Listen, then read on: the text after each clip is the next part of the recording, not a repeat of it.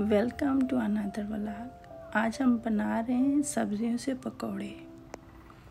सबसे पहले मैंने डाली है red pepper, green pepper and yellow pepper.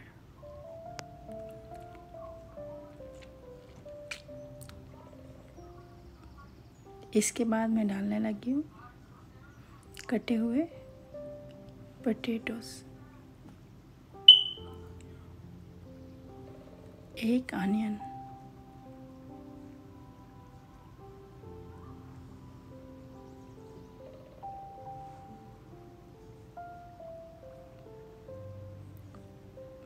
और इसमें कुछ मसाले।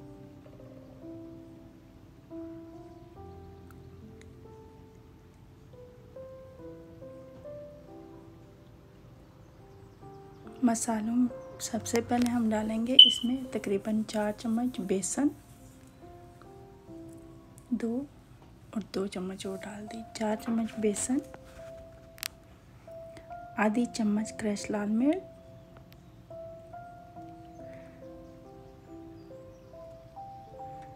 आधी चम्मच से थोड़ा कम नमक।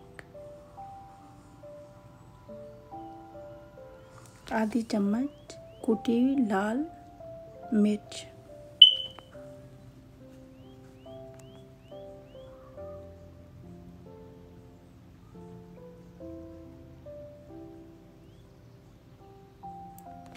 Quarter teaspoon tablespoon नहीं है, ये टी स्पून बेकिंग सोडा डाला है मैंने। बेकिंग पाउडर डाला है बेकिंग सोडा नहीं बेकिंग पाउडर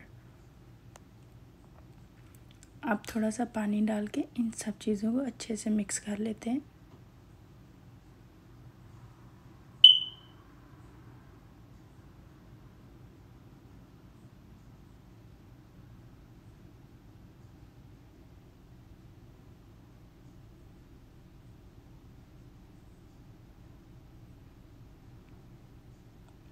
थोड़ा थोड़ा पानी डालें कि बहुत लिक्विड ही ना हो जाए।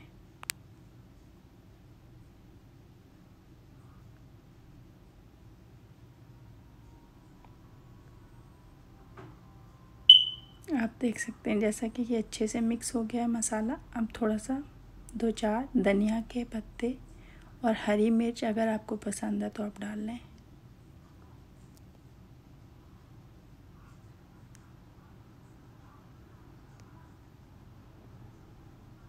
ये मिक्स हो गया है।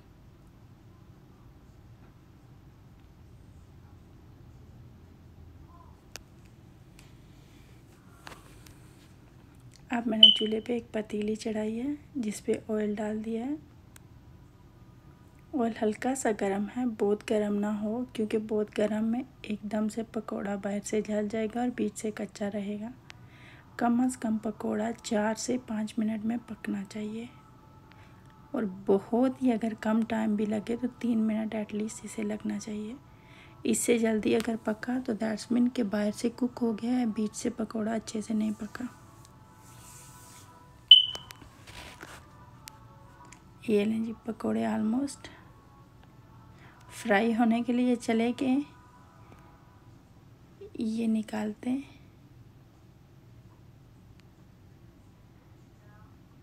ये देखें, कितनी प्यारी इनकी शेप लग रही है कलरफुल लग रहे हैं। क्योंकि हमने ये जो इसमें ग्रीन पेपर रेड पेपर वगैरह डाले हैं, इससे कलर भी काफ़ी अच्छा आएगा और टेस्ट भी बहुत प्यारा है।